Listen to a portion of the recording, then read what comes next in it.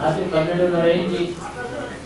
శ్రమ కోర్చి నిద్ర మానుకొని ఇంట్లో పని కూడా వదిలిపెట్టి వేరే ఓడిని కూడా మంది ఉన్నారు.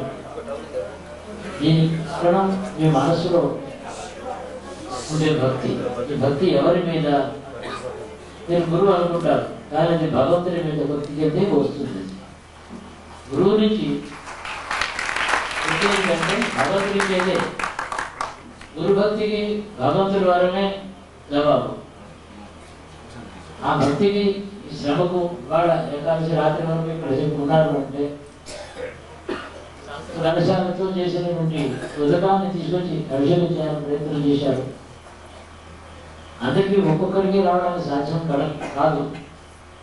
ఈ తల మీద నీళ్ళు జరుగుతుంటే చేసినట్టు ఈ కార్యక్రమాల్లో కార్యక్రమాలు ఒకసారి గంట గంటన్నర ఆలస్యమైనా పూర్తిగా ఈ ఆరు రోజులు మీరు అందరూ ఉన్నారు.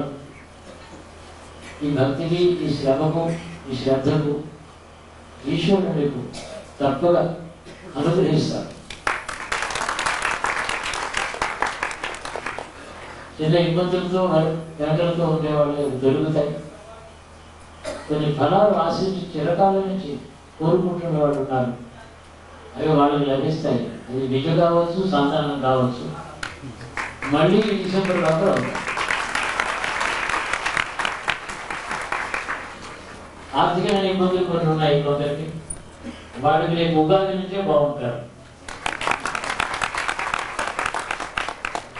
జాతకాలు ఎలా దోషాలు ఉన్నా ప్రమాదాలు రోగాలు ఉన్నా అవి మిమ్మల్ని ముట్టుకో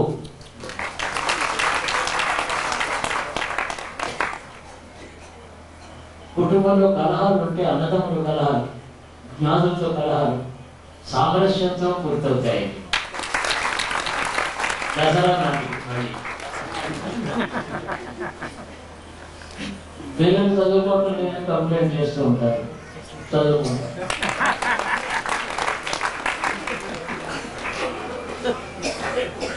చదువుకున్నాక ఇంకా ఉద్యోగం రావాలని అట్లా ఉంటారు కొందరు.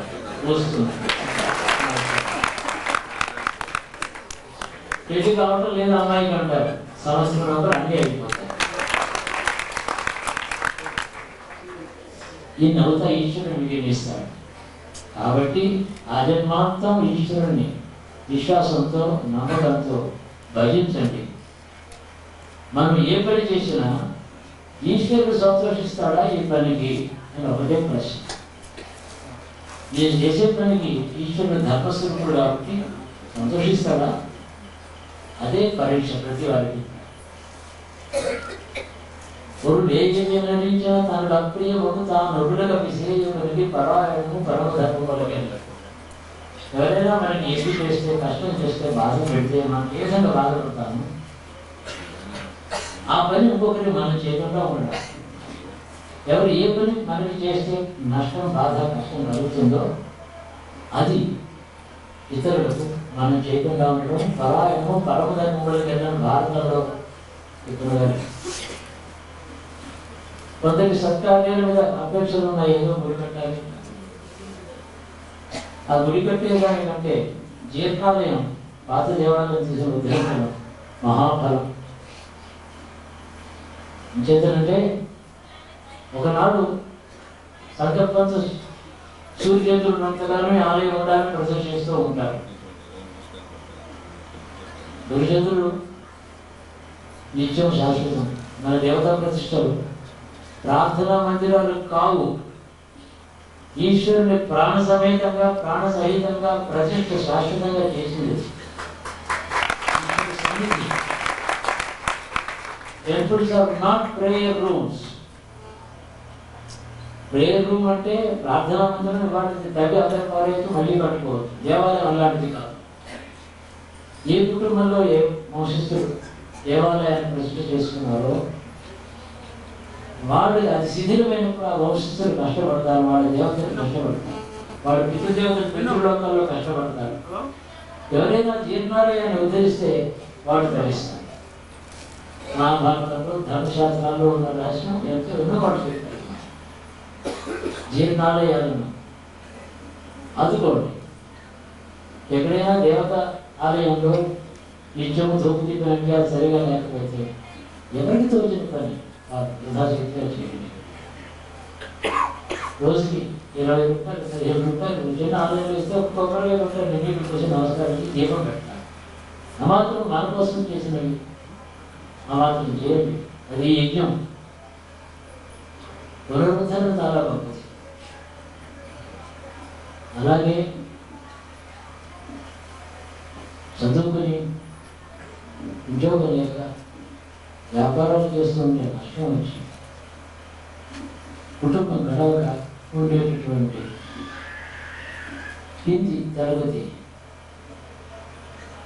మంచి తరగతి ప్రజలు కింది కోటి చెందినవారు. వాళ్ళ బాధపడడం అనేది మంచిది కాదు ఎందుకంటే ఒక మనిషి ఇబ్బందిలో ఉంటే సహాయం చేయడానికి ఇరవై మంది సామాన్యుడు కాదు చాలు. ఒక ధనవంతుడైతే సహాయం ఒకరికే ఒకడే చేయగలడు. ఇరవై మంది సామాన్యులు నక్షత్రం ప్రజలు కలిసి సహాయం చేస్తే ఒక కష్టంలో ఉండే సామాన్యుడు కాదు కాబట్టి ప్రతి వారు ప్రతి ఇతర వ్యక్తికి సహాయం చేయడమే సర్వధర్మం. ఆశించడం కాదు. తీసుకునేవారు. వీలైనంత మటుకు సహాయం తీసుకోకుండా ప్రయత్నం చేసుకునే జీవనం జీవించాలి అది తీసుకునేవాడు ధర్మం ఇది ఇచ్చేవాడు ధర్మం. ఎవరి ధర్మం వారు పాటించాలి. ఇంత బ్రతులు చేశారు ఇంకేం ఫలాలు ఉన్నాయి మాదని కదా కొందరు మనసులో అక్కడక్కడ మనసు. ప్రశ్నలు వస్తున్నాయి. అవును తప్పకుండా ఏ ఫలం ఆశించి మనసులో ఎవరెవరు చేశారు. వారికి ఆ ఫలాలు వస్తాయి. కానీ వారు కోరుకున్న ఫలాలు ఇవి ధర్మమేనా అని మాత్రం గుర్తు చేసుకోండి. ప్రశ్న వేసుకోండి. ధార్మికమైన ధర్మం ఉంటే అది తీరుతుంది. దానికొకరికి అన్యాయం చేసి తన చిక్కులో పడితే ఈ బాధ నాకు తొలగిపోవాలి అని అనుకుంటాడు. నేరం చేసిన తర్వాత శిక్ష సంతోషంగా తీసుకుంటే నాకు శిక్షించడానికి అడిగితే కూడా భగవంతుడు మేలు చేస్తాడు నాకు క్షయం చేసి అనుగ్రహిస్తాడు. సామాజిక జీవనంలో కొన్ని శక్తులు తప్పుడు దారిలో వెళుతూ హింసాత్మకమైనటువంటి ఉద్యమాల్లో తిరుగుతూ ఇటు సమాజానికి ఉపయోగపడక కొద్ది మందికి అపకారం చేస్తూ హత్యలు చేస్తూ తామేమో అనవసరంగా ప్రాణాలు పోగొట్టుకుంటూ ఉంటే అజ్ఞాన స్థితిలో ఉంటే కొందరు ప్రజలు ఈశ్వరుడు వాడికి వివేకం ఇచ్చి వాళ్ళు బాగుపడి ప్రజలతో కలిసి సామాన్య జీవితంలో జీవించి ఎంత అదృష్టం ఉందో ఎంత శక్తి ఉందో అంత వృద్ధులకు వాడు వచ్చే ప్రయత్నం చేయాలి. వాళ్ళకి ఈశ్వరానుగ్రహం కలగాలని.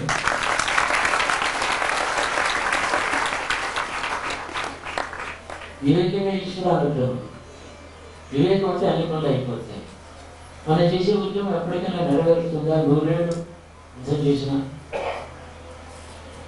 ఒక మేక కొండ మీద కోపం వచ్చి దిగుతుంది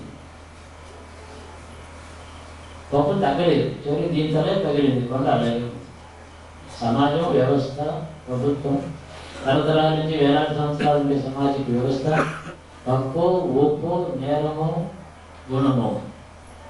ఉండవచ్చు. కానీ ఈ పది మంది దాన్ని మార్చలేరు అది గుర్తుపెట్టు వాడి ఉద్యమంలో అంటే నేను నక్సలైట్స్ మాట మాట్లాడుతాను మీ అందరికీ తెలుసు పక్కన లేదు. వాళ్ళ ఉద్యమంలో ఉండేటటువంటి కారణం న్యాయమే కావచ్చు. కానీ జీవించడం వాటి వల్ల కాదు అది నేను చెప్పేది. ఎందుకు వృధాగా ప్రాణాలు పోగొట్టుకోవాలి? ఒక వ్యక్తి పోతే ఎంతమంది కుటుంబ సభ్యులు దుఃఖపడతారు? తాను ఉద్యమంలో చేరి సరిపోయి తన తల్లిదండ్రులకి సోదరులకి స్నేహితులకి బంధువులకి అందరికీ దుఃఖాన్ని తీసుకురావడం ఏం తెలియదు. ఇది మంచిది కాదు. అలాంటి వారందరూ కూడా మనకు తెలిసిన వాడు ఎవరైనా సరే వాళ్ళ క్షేమం కోరి భగవంతుని ప్రార్థించి అయినా మంచి మార్గంలోకి దగ్గర ఈ దేశంలో ఇన్ని సమస్యలు అన్యాయాలను ఇది ఎవరో అవతార లేకపోతే ప్రజలందరినీ భక్తితో నడిపించగలిగిన వాడు ప్రజలందరికీ తన ఉద్యమంలో పాలిచ్చి ఇచ్చి గొప్ప నాయకుడు బలమైన నాయకుడు అతనికి ఇస్తే కొంత తొలగవచ్చు బుద్ధుడు వచ్చి పోయినాడు. అహింస అలాగే ఉంది. జైన మతం పుట్టి రెండు వేల ఐదు వందలు అయింది రోజు యజ్ఞంలో బ్రాహ్మణుడు మేక చంపితే దానికి అరెస్ట్ కూడా చేయొచ్చు. కానీ గవేడలో ఐదు వేల మేకలు రోజు వేసిన దాన్ని అది ఆహారం కింద ఎంత ఏది హింస ఏది అహింస? గుర్తుపెట్టుకుంటే అవతారములు వచ్చి అహింసను పోషించిన జీవితం ఇలా ఉంది ప్రపంచం ఇలా ఉంది? కాబట్టి ప్రతి వాడు సమాజంలో ఒక దోషం కనబడితే తనకు తెలిసినంత మటుకు పది మందిని బాగు చేసే ఉద్యమంలో ఉండాలి కానీ దేశాన్ని మార్చే ఉద్యమం చేయకూడదు తెలియజేయమని కాదు పది మంది తన మిత్రుడు తన మనుషులు ఎవరైనా వస్తే ఆయన ఇది మంచిది కాదని ఆ పది మందికి తన చేతనైనటువంటి రిఫార్మ్స్ చేయాలి. అంటే అందువల్ల ఉండకూడదు తన శక్తి తన సామర్థ్యం దానికున్న బలం మార్గం బలం ఇవన్నీ ఆలోచించి ఉద్యమంలో ఎంత చేయగలరు కొంతమంది చేస్తే వెయ్యి మంది వాళ్ళే వస్తారు. అలా కాలేదు ముప్పై ఏళ్ళు హింసాత్మకమైనటువంటి రిఫార్మ్స్ రిఫార్మ్ కాదు ఇది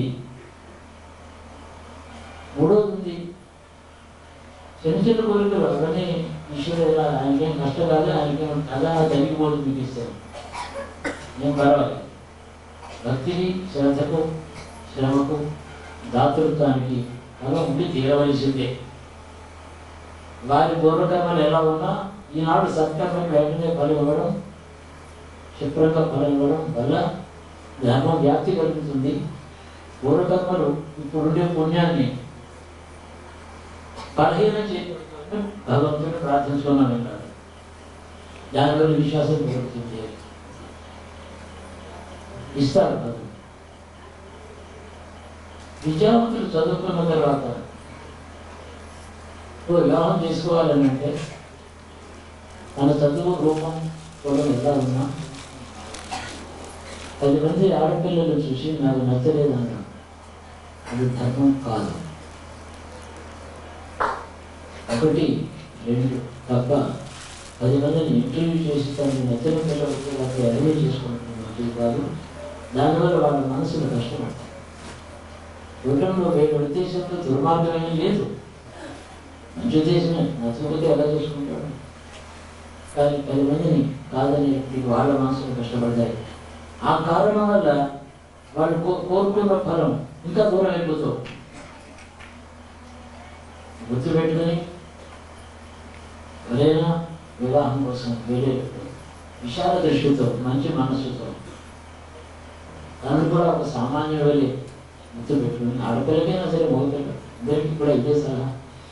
వివాహం సుముఖంగా ఉంటే అయిపోవడానికి అవకాశాలు చాలా ఉన్న చోట ఏదో కారణం చేత కావటం లేదు. ఆడపిల్లలు అలాగే ఉండిపోతున్నారు.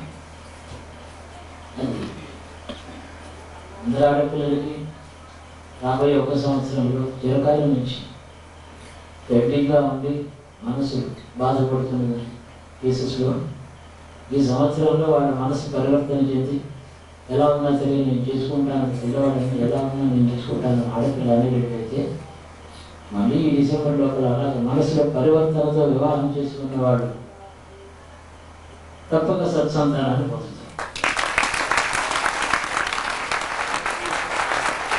ఇది భగవంతుని వాక్యంగా మీరు వాగ్దానాన్ని తీసుకోవచ్చు.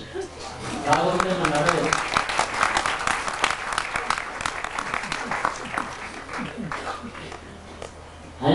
ఆయన పదవి ఉంది. ఈ భూమండలం భూమి పైన ఉన్నటువంటి సంస్థ జగకోటికి కూడా అష్టైశ్వర్యములు వృత్తి ధనము అని కోరికలు తీరేందుకు ఈశ్వరుడు ఒక్క కటాక్షమే క్షమిస్తారు క్షణమే మనం ఆతడి మహత్వం ఆతడి వితరణము ఆతడి దాతృత్వము అనుగ్రహం మన అంచనాలు సరిగా లేదు. మనకి అలాంటి దాతృత్వాన్ని ఊహించడం కూడా చేత కావట్లేదు మన వృత్తి ఎందుకంటే ఎవరైనా వెయ్యి రూపాయలు దానం చేసే మహాదాత అని చెప్పేసి అది పద్యాలు రాస్తాం ఇలాంటి వాటి ఈశ్వరుడికి దాతృత్వాన్ని నాకు తగ్గగలరు అలాగే? లెక్క కట్టగలరు అల్పత్వం వదిలిపెట్టండి. ఈశ్వరుడు యొక్క అమితత్వం అనంతత్వం అపారమైన అనుగ్రహ లక్షణ తత్వం బాగా గుర్తుపెట్టుకోండి. ఒకటే తపస్సు.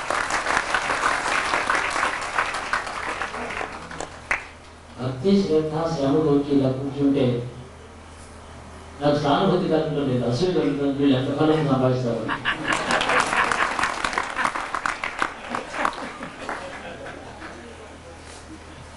ఏం చెప్పను? నా శుభాకాంక్షలు మీ అందరికీ ఎప్పుడూ ఉంటాయి.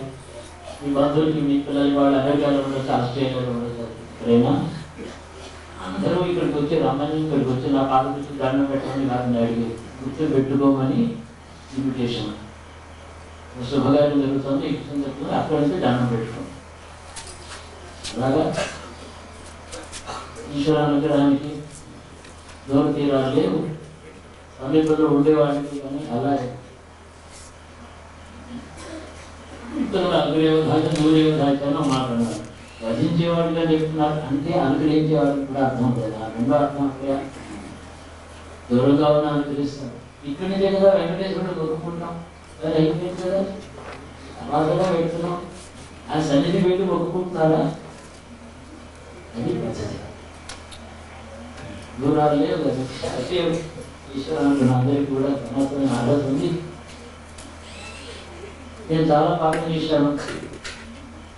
అనడంటే నామస్మరణ చేత పాప క్షయం చేసుకుంటాను జీవోగ్రాఫుడు నేను గట్టిగా సంకల్పం చేయడం చాలా అవుతాను దేశక్షేమం కోరండి ప్రజాక్షేమం కోరండి ధర్మాన్ని పరిపాలించండి ఈశ్వరుని దృఢమైన విషయాలు పెట్టుకోండి అడిగిన కోరిక ఒకటే అంది ఒక మాట అన్నాడు భగవంతుడు అడిగిన కోరిక నాకు క్షేమకరం అయితే ఇది. నాకు క్షేమకరం కాని కోరిక ఏదైనా అడిగితే అది ఇవ్వద్దు విఘ్నేశ్వరుని రోజు మనం పూజ చేస్తాం. నేను ఏ పని చేసినా ఏ అది ఆ పని అయిపోవాలి అని అనుకుంటారు ఉంటారు అలా విగ్రహ రూపంలో వచ్చి నేను చేసేటటువంటి తప్పుడు పనులు భంగం చేసి నన్ను కాపాడు. విగ్రహానికి మాత్రమే ఆయన నాయకుడు. ఎటువంటి విగ్రహములు క్షేమకరమైన విగ్రహాలకు నాయకుడు. ఈశ్వరుడు కదా. కేవలం విఘ్నాల కోసం ఒక దేవతన్నారు సత్యాన్ని ఆచరించడం. గణేశ్వర పూజ సత్కార్యం బాగుండాలని చేయాలి ఎవరినో హత్య చేయడానికి కూడా గర్భకి దండం పెట్టుకుంటే సక్సెస్ఫుల్గా హత్య చేసి వస్తారు ఆ నెలలో ఉరికి పడతాయి వాడు అడిగితే వెంటనే జరిగింది ఏది ప్రమాదం చేయలేదు దుర్మార్గం పనులు చేయడానికి నిర్విఘ్నంగా కావాలని విషయం అడగవచ్చా అలా అడిగితే ఆ సరే అంటే ఎంత ప్రమాదం విగ్రహ రూపంగా సాక్షాత్కరించుకుంది నేను ఈ పనిలో నేను తీసే పని జయప్రదంగా అయిందని అనుకుంటే తర్వాత క్లిష్ట పరిస్థితులు కష్టాలు నష్టాలు వస్తాయో అది మొదలే భంగం అవ్వను కదా. నిరంతరం ఎక్కడో ఏ ఇంటి పక్కన ఉండేటువంటి ఏ ఆదాయం ఉండేది వేప చెట్లు ఉన్నాయి సరే దేవతే అమ్మవారి ఈశ్వరుడే. ఇది తక్కువ అది ఎక్కువ అలా ఏమీ లేదు. ఒక మనిషి ధరించి మోక్షం కూడా పొందడానికి పూరి పొలిమేరలో ఉండేటువంటి కోలేరమ్మ చాలు కైలాసం వెళ్ళాలా? ఈశ్వరుడు లేని చోట ఉంటుందా? మాట గుర్తుపెట్టుకోండి. ధర్మంలో సుఖంగా ఉండండి.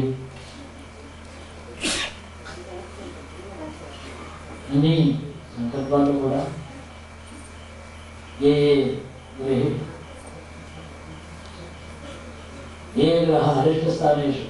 సీత తై స్థై ప్రేమాన్ని పరిశ్రమాన్ని ఆగమి సంస్కృతి రాదు ఈ రాజు వచ్చి నువ్వు నడుస్తున్న ముందు అన్ని అరిష్టాలు తోడమని భగవంతుడు పెట్టుకుంటే ఆ అంటాం కానీ ఇవన్నీ అవుతాయా కావు